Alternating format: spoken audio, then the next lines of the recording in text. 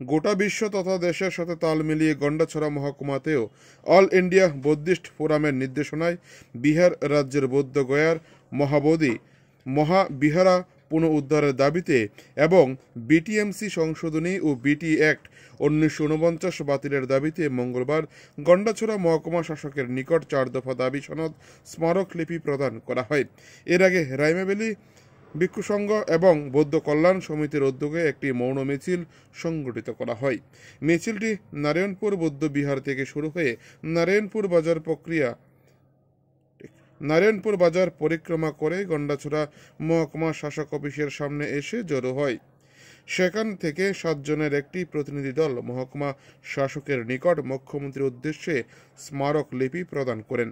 মহকুমা শাসক চন্দ্রজয় রিয়াং তাদের দাবিগুলি মুখ্যমন্ত্রীর নিকট প্রেরণ করবেন বলে প্রতিনিধি দলের সদস্যদের আশ্বাস দেন।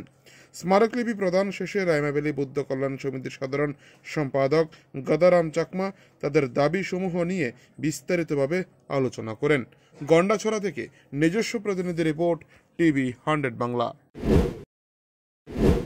বুদ্ধায় আজকে আমরা রায়মাবিলি ভিক্ষু সংঘ এবং বুদ্ধিস্ট ওয়েলফেয়ার সোসাইটি এর উদ্যোগে এবং অল ইন্ডিয়া বুদ্ধিস্ট ফোরাম এর নির্দেশনায় আজকে আমরা মাননীয় মহকুমা শাসকের নিকট মেমোরেন্ডাম সাবমিট করেছি।